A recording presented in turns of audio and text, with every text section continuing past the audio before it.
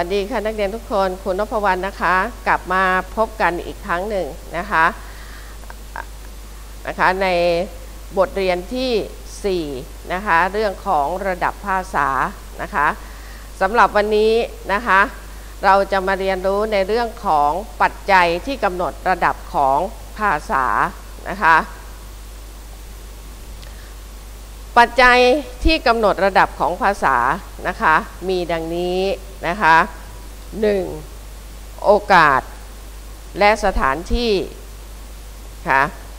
โอกาสและสถานที่ที่ใช้ภาษาเป็นปัจจัยนะคะที่ทำให้ใช้ภาษาต่างระดับกันนะคะอย่างเช่นในที่ประชุมนะคะในตลาดร้านค้าที่บ้าน ภาษาที่ใช้มักต่างระดับกันนะคะ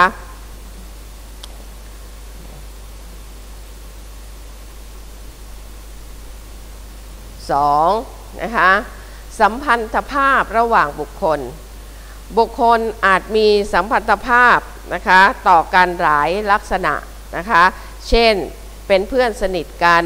นะคะเป็นผู้ที่เพิ่งรู้จักกัน เป็นผู้ที่ไม่เคยรู้จักกันมาก่อนเลย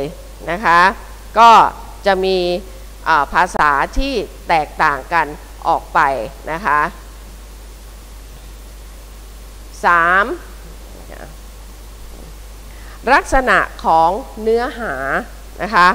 เนื้อหาของสารเกี่ยวพันกับโอกาสในการสื่อสารอยู่ไม่น้อยนะคะ เช่น เนื้อหาเกี่ยวกับเรื่องส่วนตัวนะคะที่ไม่สามารถใช้ในระดับ พิธีการหรือระดับทางการได้นะคะ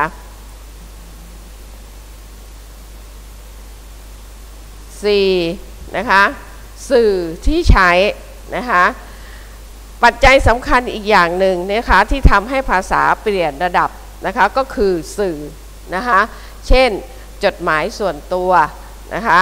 ผนึกซองกับไปรษณียบัตรนะคะภาษาที่ใช้ย่อมแตกต่างกันนะคะ หากบุคคลบอกต่อๆกันด้วยปาก ระดับของภาษาที่ใช้ย่อมแตกต่างกันกับเมื่อประกาศผ่านเครื่องขยายเสียงนะคะและย่อมแตกต่างกับภาษาที่พูดทางวิทยุกระจายเสียงหรือทางวิทยุโทรทัศน์นะครับลักษณะของภาษาระดับต่างๆนะคะ หนึ่งการเรียบเรียงนะคะการเรียบเรียงนะคะในภาษาระดับพิธีการและระดับทางการนะคะผู้ส่งสารซึ่งรวมทั้งผู้พูดและผู้เขียนจะเรียบเรียงเนื้อหาให้มีความต่อเนื่องกลมกลืนนะคะกันอย่างเป็นระเบียบนะคะและพิถีพิถันขัดเกลาภาษาให้สละสลวยนะคะเช่น ในการกล่าวคำปราศัยกล่าวต้อนรับผู้แทนระหว่างประเทศ หรือระหว่างองค์การ มักเตรียมว่าวาทานิพนธ์ไว้ล่วงหน้า ถ้าหนังสือราชการจะเขียนอย่างมีระเบียบนะคะ ซึ่งจะกล่าวถึงจุดประสงค์ของเรื่องนะข้อ 2. กลวิธีนำเสนอ ภาษาระดับพิธีการและระดับทางการนะคะ มักใช้กลวิธีนำเสนอตามรูปแบบที่กำหนดไว้แล้วนะคะ เช่น ในคำกล่าว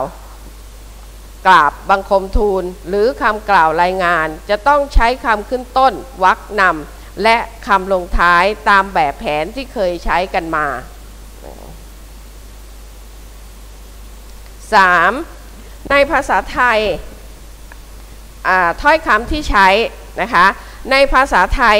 มีถ้อยคำที่แสดงความลดหลั่นตามระดับของภาษา โดยเฉพาะในสำนวนที่เป็นคำซ้อนสี่พยางค์ หลายสำนวนนะคะใช้ในภาษาระดับไม่เป็นทางการลงมาเท่านั้น เช่น เอะอะมะเทิง ทางหนีทีไล่ ไปวัดไปวา มีข้อสังเกตเกี่ยวกับความลดหลั่นตามระดับของภาษาดังนี้นะคะ3.1คำสรรพนามนะคะจะใช้ในระดับทั้ง 5 ระดับแตกต่างกันนะคะอย่างเช่น กระผม ดิฉัน ข้าพเจ้า ฉัน กัน เรา หนู นะคะ 3.2 คำนามนะคะ มีคำสามัญนามหลายคำที่เราใช้เฉพาะในภาษาระดับกึ่งทางการนะคะ ระดับไม่เป็นทางการ และระดับกันเองเท่านั้นนะคะ เช่น โรงหนัง ใบขับขี่รถยนต์ ใบรับรองนะคะ ถ้าใช้ในระดับทางการขึ้นไปจะใช้ว่า โรงภาพยนตร์ ใบอนุญาตขับรถยนต์นะคะหรือหนังสือรับรองนะครับ3.3คำกริยาคำกริยาที่แสดงระดับต่างๆของภาษาอย่างเห็นได้ชัดนะคะอย่างเช่น ตายนะคะอาจใช้มรณภาพ เสีย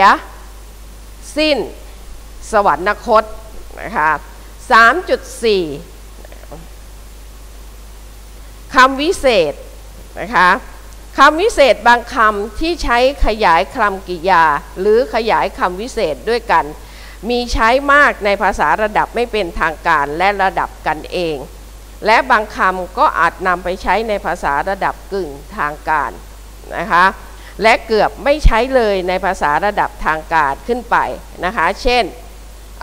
เป็นอันมากนะคะใช้ในภาษาระดับทางการขึ้นไปค่ะ ครับสินะเธอ มักใช้ระดับไม่เป็นทางการและระดับกันเอง ส่วนการออกเสียงว่าอย่างนั้น อย่างนี้ ยังไงนะคะใช้ในภาษาระดับกึ่งทางการลงมานะคะแต่ถ้าในระดับทางการขึ้นไปนะคะควรใช้ให้เต็มและออกเสียงให้ชัดว่าอย่างนั้น อย่างนี้นะคะอย่างไรเป็นต้น นะคะนะคะ อันนี้ก็คือเรื่องราวของระดับภาษานะคะ และก่อนที่เราจะจบเรื่องของระดับภาษานะคะครูก็จะสรุปเกี่ยวกับเรื่องของระดับภาษาให้นักเรียนฟังไว้คร่าวๆดังนี้นะคะ การใช้ภาษาในการสื่อสารต้องให้เหมาะสมกับโอกาส สถานการณ์ และสัมพันธภาพระหว่างบุคคลนะคะ ซึ่งระดับภาษาเป็นตัวกำหนดความเหมาะสม ช่วยให้เกิดผลดีในการสื่อสาร การแบ่งระดับภาษาออกเป็น 5 ระดับ ซึ่งได้แก่ ระดับพิธีการ ระดับทางการ ระดับถึงทางการ ระดับไม่เป็นทางการและระดับกันเอง ถ้าศึกษาโดยละเอียดจะช่วยทำให้ใช้ภาษาได้อย่างถูกต้องมากขึ้นนะคะ ครูก็คิดว่านักเรียนนะคะก็คงจะนำภาษาที่นักเรียนได้เรียนรู้ไปในวันนี้นะคะไปใช้ให้เกิดประโยชน์นะคะใช้ให้ถูกต้องกับบุคคล ใช้ให้เกิดถูกต้องกับเหตุการณ์และสถานที่ต่างๆได้นะคะและก่อนที่เราจะจบนะคะในวันนี้ก็จะให้ใบงานนักเรียนไปทำนะคะเพื่อเสริมความรู้ให้กับนักเรียนต่อไปนะคะสำหรับวันนี้นะคะ สวัสดีค่ะ